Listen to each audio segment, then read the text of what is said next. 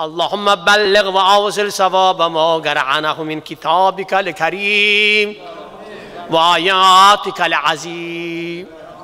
هدية منا ووصية لك لروح المحمد المصطفى صلى الله عليه وآله وسلم وعلي المرتضى عليه السلام والفاطمة الزهراء سيدة النساء العالمين عليه السلام.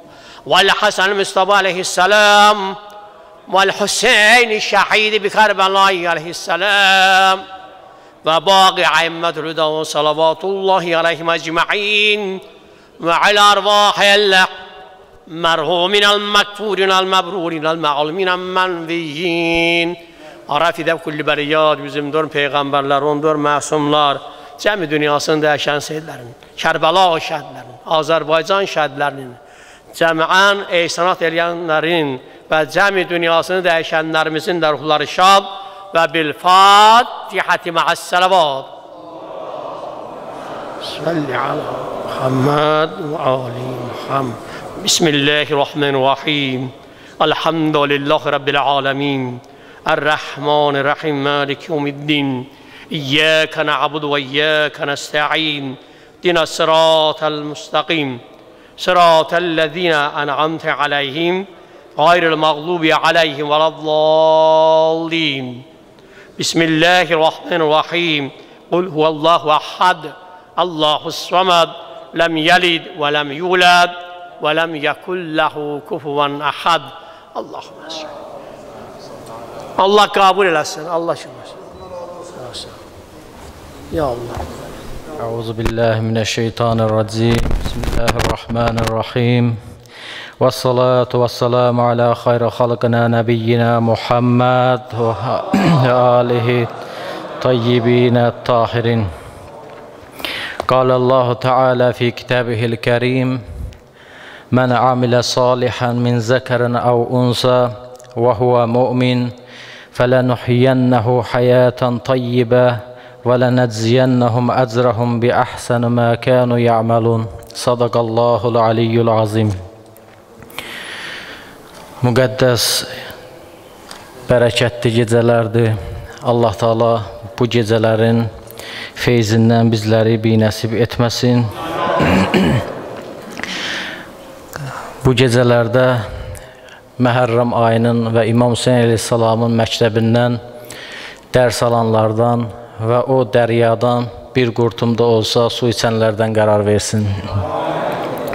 Allah Taala mübarək kitabında buyurur: İstər kişi olsun, istər qadın olsun, sizlərdən hər kəs salih iş görərsə, o mömin bir şəxsdir.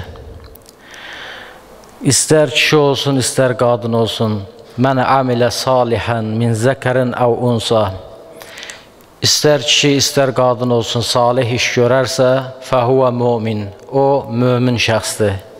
Yəni, salih əməl imandan qaynaqlanan bir işdir.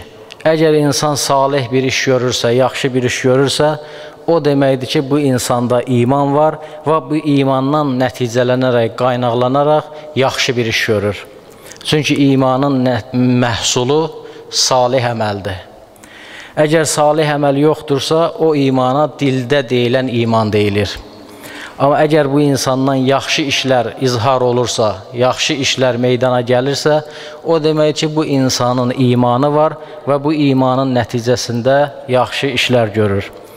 Allah Teala buyurur: "Fələnuhyiyennehu hayatan tayyibə." Bu insana biz dünyada gözəl həyat yaşadarıq.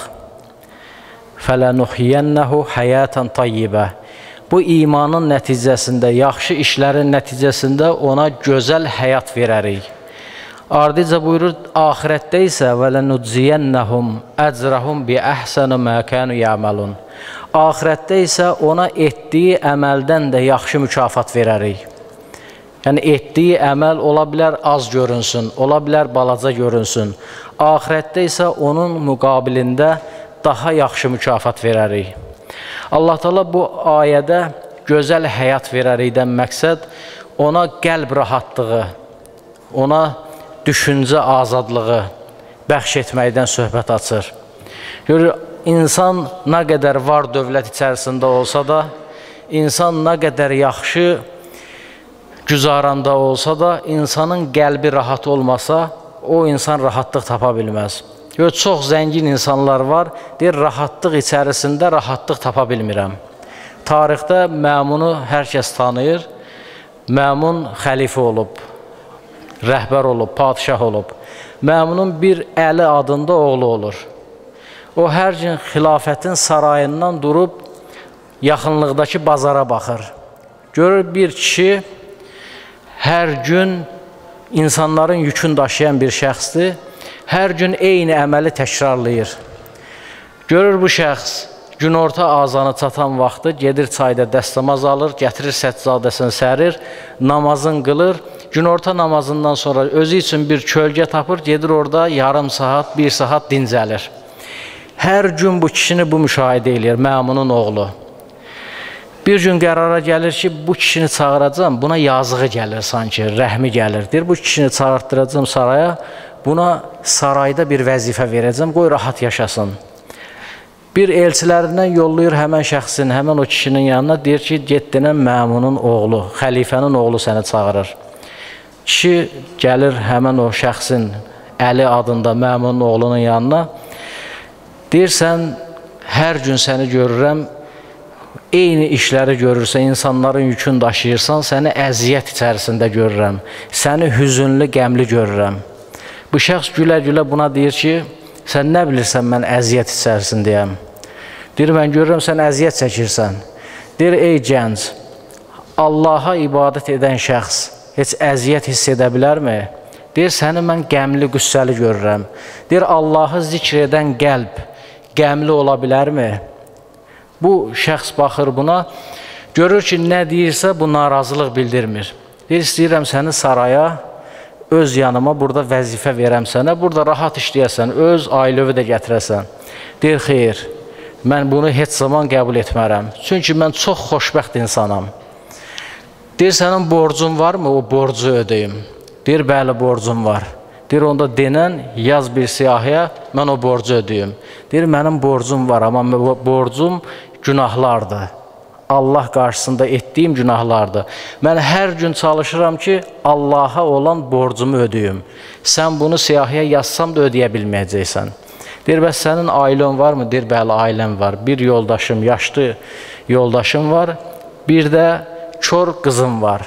Deyir, hər gün onlar oruç tutur. Mən qazandığımı aparıram, onlar onunla iftar açırlar. Bu məmunun oğlu görür ki, buna nə deyirəm, heç bir şeylə razılaşmır. Sonda deyir, nə istəyirsən? Deyir, səndən heç bir şey istəmirəm. Sadəcə olaraq sənə bir-iki məsləhət vermək istəyirəm ki, sən bil ki, Allahı zikr edən qəlb heç zaman qəmgün olmaz. Allaha itaət edən şəxs heç zaman yorğun olmaz. Və sən düşünmə ki, bu var dövlət əbədidir. Bu var dövlət hamısı əldən çıxacaq. Bu sarayı tərk edib gedəndən sonra həmən o Əli adında Məmunun oğlu öz libasını dəyişir. Vəzirlərdən birinə deyir, atama deyin ki, atama mənim salamımı çatdırın və deyin da bundan sonra mənə görməyəcək. Gedir uzaq bir yerə, kəndlərdən birinə iş axtarır. Görür bir tacir özü üçün fəhlə axtarır. Həmən o tacirin ölənə qədər həmən tacir üçün fəhləlik edir.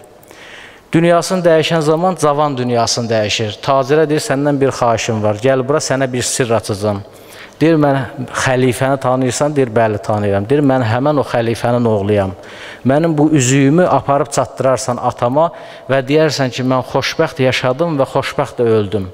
Həmən o şəxs oğlunun üzüyünü gətirir, verir məmuna, oğlunun dediyi sözləri buna çatdırır.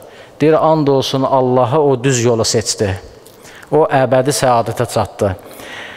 Görür, insan bu dünyada, insan ruhu bu dünyada bir gəmiyə bənziyir.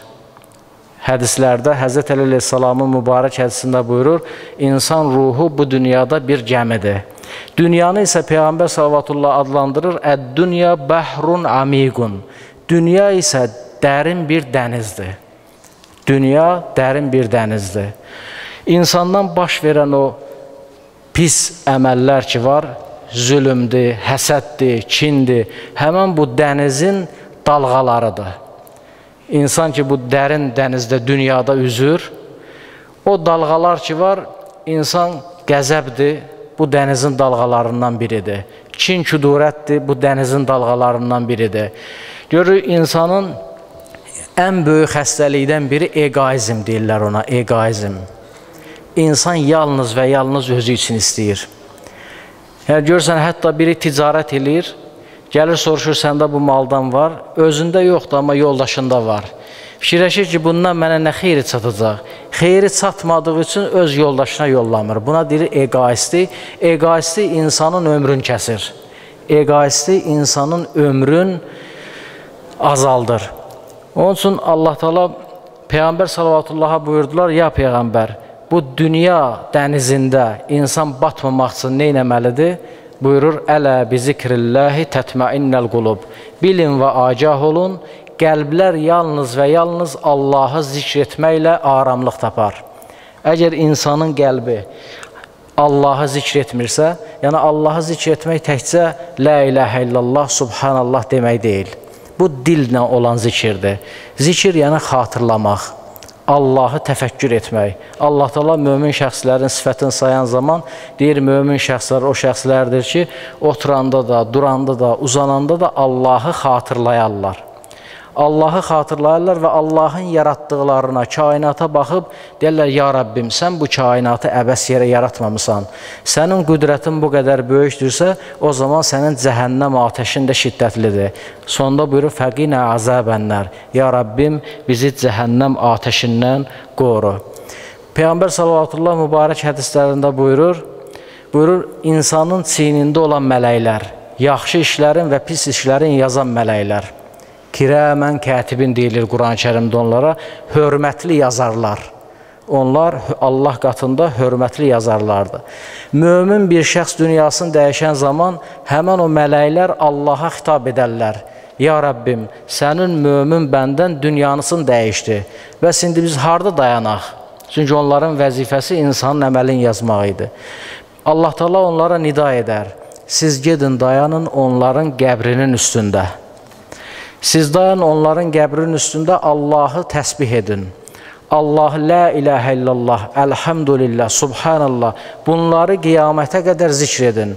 Və bunların savabın hər birin yazın həmən o mömin qulumun əməl dəftərinə. Gör, salih insan, yəni insan dünyada salih işlər görürsə, hətta Allah Taala onu dünyasını dəyişəndən sonra belə həmən o mələkləri onun üçün müvəkkil qəbrinin üstünə təyin edir. Allah Teala Quran-ı Kərimdə digər bir ayədə buyurur: "Əl-malu vəl-banun zinatul hayatud dunya." Mal da, var dövlət də hamısı dünya həyatının zinətidir, bəzəyidir. Allah Taala ulduzları dünya səmasının zinəti adlandırır. Buyurur ki, biz dünya səmasını ulduzlarla zinətləndirdik. Var dövlət dünyanın zinəti olduğu kimi eyni zamanda da bir fitnədir, imtihandır. Allah Teala mübarək Quran-ı Kərimdə buyurur: "Vel baqiyatus salihatu hayrun ində rabbika savaban və xayru əmələn." Var dövlət, övlad bunlar əbədi deyil. Bunlar gedəndir. Yalnız və yalnız qalan salih əməllərdir. Salih əməllər Allaha doğru qalxır. Allah əbədi olduğu üçün heç bir şey itmir. Ona görə var dövlət, insanın övladı belə dünya həyatının bir zinətidir. Zinət necə aradan gedir, insanın var dövləti də aradan gedir. Gör, bir padişah əmr eləyir ki, deyir, bir sual verəcəm. Kim o suala cavab versə, ona çoxlu mükafat verəcəm, qızıl verərəm. Gör, sual verir ki, mənim qiymətim, o qədər zəngin olur ki, deyir, mənim qiymətim nədir? Kim tapsa ki, mənim qiymətim, mənim dəyərim nədir? Ona mülkümün yarısını verərəm. Çox insanlar axtarır ki, bu padişahın qiyməti, dəyəri, müqabili nədir? Heç kəs bunu tapa bilmir. Küçədə bir cavan oğlana rast gəlirlər. Deyirlər ki, padişah belə bir sual verib. Deyir ki, gedək, mən ona cavab verim. Həmən gənc gəlir, deyir ki, eşitdim, sən mənim sualıma cavab verərsən. Deyir, bəli, mən sənin sual verə bilər, cavabı, sualıma cavab verərəm. Çünki sənin qiymətin, dəyərin bir kəfəndir. Yəni sən nə qədər padşah olsan, var dövlətin olsa da, sənin bu dünyadan apara biləcəyin bir kəfəndir. Ona da ümid yoxdur, apara biləcəksən, yoxsa yox. Onun üçün dünya həyatı müvəqqəti bir həyat olduğu üçün Allah Taala Quran-Kərimdə buyurur: "Fətəzəvvadu fe inne xayrəz-zadi təqva." Özünüz üçün azuqə toplayın. Ən gözəl azuqə təqvadır. Yəni insanın etdiyi gözəl əməllərdir. Allah Teala axirət haqqında buyurur və uridu ala rabbika saffan laqad ji'tumuna kama xalaqnakum awwala marra. Məhşərdə qiyamət günü insanlar sıra-sıra Allahın huzuruna gələr, necə ilk ana bətrindən dünyaya doğulduqları kimi. Yəni heç bir şey əllərində olmaz, dünyada qazandıqları heç bir şey əllərində olmaz. Ana bətrindən dünyaya gəldikləri kimi Allah huzurunda dayanarlar. Allah Taala onlara buyurur: "Bəl zaimtum alla necma lakum mau'idan." O inadkarlara Allah Taala inkarı xitab deyilir buna. Buyurur ki, siz elə güman edirdiniz ki, yenidən Allah huzuruna qayıtmayacaqsınız. Biz gör Allah Taala mömin şəxsləri vəsf edən zaman buyurur: "Fəizə əsabəthum musibə qalu inna lillahi və inna ilayhi raciun." Deyir ki, onlara, mömin bəndələrə bir müsibət, bəla baş verdiyi zaman onların sifəti, onların deyəcəyi söz odur ki, İnnə lillah və innə iləyhi raciun. Biz Allah tərəfindən gəlmişik və Allaha da qayıdacaq. Görə burada Allaha gedəcəyik demir. Allaha qayıdacaq o deməkdir ki, yəni insan gəldiyi yerə qayıdar gedəcək desəydi, o demək ki, hardansa gəlib başqa bir yerə gedəcək. Qayıtmaq odur ki, insan Allah tərəfindən gəlib və Allaha da qayıdacaq. Və vudi el-kitabu fataral mujrimina muqsidina mimma fihi və yaquluna ya veylata ma la hazal kitabu la yughadiru saghiratan və la kabira illa ahsaha. De kitab onların əməl dəftərləri qarşılarına qoyulan zaman deyirlər, vay olsun bizim halımıza. Bu necə kitabdır ki, nə balaca bir əməli, nə böyük bir əməli heç birini qaçırtmayıb. Yəni o çiyində olan mələklər onlar üçün fərqi yoxdur. İstər kiçik əməl olsun, istər bir. Hamısını Allah əmri ilə hamısını qeyd edərlər. Onun üçün insan dünya həyatında yaşayan zaman ilk öncə düşünməlidir ki, bu dünya axirətin tarlasıdır. Necə Rasulullah buyurur, bu gün əməl günüdür, sabah isə hesab günüdür. Yəni, bu gün insan üçün böyük bir fürsətdir ki, Allaha ibadət, Allaha itaətlə keçirsin. Və bu Allaha insan qəlbin bağlayarsa, hər bir şey onun üçün şirin olar. Hətta müsibətlər belə şirin olar. Necə Həzrət Abbas əleyhissalam Həzrət Abbasdan biz eşidən zaman İmam Hüseyin əleyhissalam Həzrət Abbasdan soruşur, deyir, sən ölümə necə baxırsan? Ölüm sənin üçün nədir? Ölüm sənin nəzərində nədir? Həzrət Abbas buyurur, o ölüm səninlə baldan da şirindir. Həzrət Abbas ölümə baldan da şirin deyir. Bir Həzrət Abbas təkcə İmam Hüseyin əleyhissalamın himayədarı olmayıb.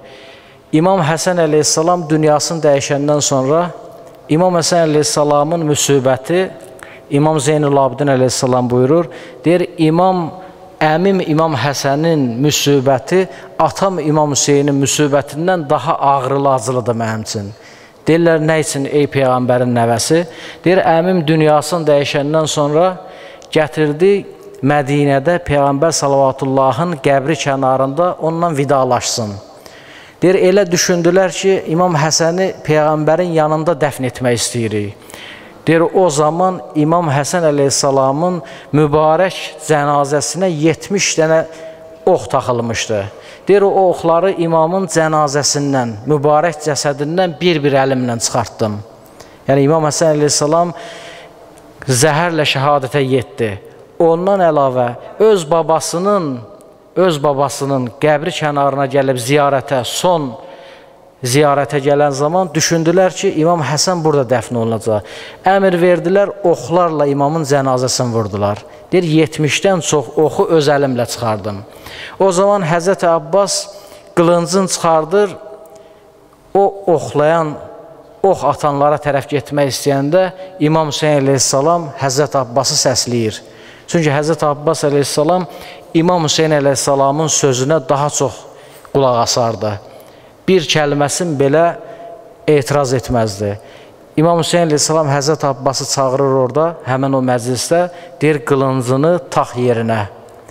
Bu gün həmən gün deyil. Soruşur, Həzrət Abbas soruşur, bəs o hansı gündür? Ey ya Əba Abdullah, bu hansı gündür? Deyir, tələsmə. Həmən gün gələcəksən, onda öz qılıncı çıxardarsan. Həmən gün Kərbəla çölüdür. Həmən gün mən yalqız qalan zaman, 72 nəfər gələn zaman, o zaman sən o qılıncı çıxardarsan. Gör, Həzrət Abbas həmən vaxtı öz qılıncını taxır. İmam Hüseyin əleyhissalam Həzrət Abbasın mübarək başın söykəyir öz sinəsinə. Tarixdə gəlir ki, İmam Hüseyin əleyhissalam hər dəfə qəmlənən zaman, hər hansı bir çətinliyi olan zaman Həzrət Abbası qucaqlayardı. Onun mübarək başını qoyardı öz qəlbinə, onu qucaqlayardı. Onun üçün Həzrət Abbasa Səqqa deyilirdi. O adı ilə də sevinirdi Kərbala çölündə. Çünki Peyğəmbər salavatullah yatdı yuxuda gördü əmisi Həmzəni. Həmzə Seyyidü Şuhada deyilir. Həmzədən Peyğəmbər sallallahu soruşdu, dedi: "Əmican, orada insanın dadına çatan ən xeyirli əməl hansıdır?" Həmzə Peyğəmbər sallallahu buyurur, orada bir neçə əməl var. Ən xeyirli əməllərdən biri, ən xeyirli əməllərdən sənə salavat çevirməkdir. Allahümmə salli alə Muhammed və ali Muhammed. İkinci xeyirli əməl odur ki, əlini sevməkdir. Üçüncü isə susuz insanlara su paylamaqdır. Onun üçün Həzrət Abbas həmişə Səqqa adını eşidəndə çox sevinərdi. Görür, Kərbəla çölündə İmam Həzrət Abbas əleyhissalam su gətirərdi və bu su gətirən zaman da bunu xanım Ruqayyə əleyhissalamın mübarək dili ilə tarixdə qeyd olunur. Xanım Ruqayyə əleyhissalam bilirik mübarək İmam Hüseyn əleyhissalamın kəsilmiş başın xanım Ruqayyənin qarşısına qoyanda imamın başını nizələrə taxıb görür imamın başı bir neçə yerdə Qur'an-ı Kərimin ayətlərini oxudu. Kəhf surəsində Kəhf surəsini oxuyur İmam Hüseyn əleyhissalam nizə başında. Onlardan da biri digər bir ayədə Allah Taala buyurur: o ayəni oxuyur ki, deyir, o zaman zalimlər biləcəklər ki, hara qayıdacaqlar. İmam Hüseyin Əsəlim mübarək başın xanım Ruqəyyə yatır Şamın xarabasında bibisi Zeynəbin qucağında. Yuxuda İmam Hüseyin Əsəlamı görür. Atasını görən kimi qaçır qucaqlayır. Deyir, atacan sən hara getmişdin? Deyir ki, mən uzun bir səfərə getmişdim babanın yanına nənənin ya xanım Zəhranın yanına qucaqlayır, bəs deyir mənim əmim su gətirməyə getmişdi. Bəs əmim Abbas getmişdi bizim üçün su gətirməyə, amma getdi daha bir də dala qayıtmadı. Deyir ki, əmin də babanın huzurunda və nənənin huzurundadır. Elə bir uzun səfərə çıxıb ki, daha bir daha geri qayıtmayacaq. Xanım Ruqayyə bu yuxudan ayılır, qışqıra-qışqıra, atacan, atacan deyə-deyə qışqırır. O zaman bütün xanımlar, ətrafında olan insanlar ağlaşmağa başlayır. Yezid məlun eşidir ki, sarayı səs basıb. Deyir, gedin onu necə olursa olsun, Ruqayyəni sakitləşdirin. Ruqayyəni sakitləşdirmək üçün gətirirlər xanımın qarşısına teşdə İmam Hüseyin əleyhissalamın mübarək başını qoyurlar. Mübarək başını qoyurlar, üstünə ağ atmışdılar. Xanım Ruqayyə bu mübarək başa baxır, taxtın içərisində deyir, mən yemək istəmirəm, mən atamı istəyirəm. O zaman məlun həmən o imamın başının üstündən ağ pərdəni götürür, xanım əli atasının başını qucaqlaya-qucaqlaya dünyasını dəyişir. Allah zalimlərə lənət etsin, Allah bizləri əhl-i beyt sevənlərdən, onlara əza saxlayanlardan və onların məktəbindən dərs alanlardan qərar versin. La havlə və la quvvətə illə billah əl-aliyyul azim. Hüseyin Gördü Rüqəyyə qaçdı qabağa Babacan, getmə bu meydana Rüqəyyə niyə? Baba səndən qabaq əmum Əbbas getdi qayıtmadı Bizə söz vermişdi su gətirəcəyəm Qardaşım Əliyyü Əkbər getdi qayıtmadı Əliyyü Əsğər getdi qayıtmadı Değiller eğildir gayyanın kulağında Yavaş yavaş dedi bala. Cedirem harabede inşallah Senden görüşe geleceğim Ama Zeynep'e buyurdu bazı Gece namazında beni yaddan çıkardım Zeynep Vaxt vaxt oldu Xeymələr yanıb Gecə aləmi Balalar qol qola zəncirə bağlanıb Oh, Hüseyin'in haremleri yatıp O yanan çadırda Zeynep yuxudan uyandı. Gece namazında kardeşinin sözü yadına gelir. Yavaş yavaş geldi kaçlı gazali. Kardeşinin o başlı cenazesini tapdı Taşlar arasında Nizeler arasında ya. Hüseyin'in o başsız bedenin tapıp Gecenin bir alemi. Kardeşinin o sözleri yadına geldi. Hanım değiller o Əlləri Hüseynin o başsız bədəninin də yarəsinin qanın sildi, üzünə, gözünə, başına sürtdü. Əllərini qaldırdı göyə. İlahi qəbul eylə. Bu fədayanı qəbul eylə bəni Haşimdən Allah. Şüku etmez ne kadar görse belaya Zeynep. Anam oğlu benim de adamım olsaydı Hüseyin Başsız cenazevi günler kabağında koymazdım. Hüseyin neyleyim? Gerek balalarından kol kula bağlanam gideyim Ama icaze verseydiler kardeş Ele Kerbela'da kalardım. Hüseyin Mənim ixtiyarım olsaydı Kərbəlada qalardım anam oğlu.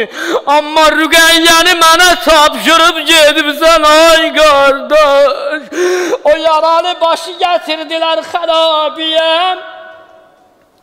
Gördülər üstündə bir xonça Bir örtük var gətirdilər qoydular balaca əlləri ilə xoncanın örtüyün rənd elədi İmam Zaman. Dedi, gəl bibi, gəl. Amma, amma, gör kim gəlib mənə qonaq. Gəl bibi, gəl, dərdimin dəvası gəlib. Bibi, bundan sonra da ağlamaram. Demərəm atam hardadır. Gəl bibi, gəl, dərdimin dəvası gəlib. Bilmirəm o şəhidləri yad edirsən ya yox. Dodaqlarında babam xeyzəran yarası gəlib. Gözəl sərvim cəlal və nə gəldi Ah celal ve tüfa güvene geldi baba? Rügenya'nın sözüdü ha Alnın senin Kerbela'da yaraydı Bilirim alnıda yaradaydı Kerbela'da. Ama baba Niye dodakların fare faredi Sana kurban dodağı ve ne geldi? Ay baba O balaca əllərlə O qədər yumruğu ilə vurdu dodaqları fare fare oldu Zeynəb deyir, o yaralı bala bir tərəfdə, o yaralı baş bir tərəfdə. Gördü baktı Rügeyye dünyasında işi, üzün dolandırdı Kerbela semtine. Abelfaz, gayretli kardeşlerim vardı kalmışsınız. Özünüzü kerbi beladan bala Şam'a yetirin. Cenazesi balamın. Yerdedir kefen getirin ay balam.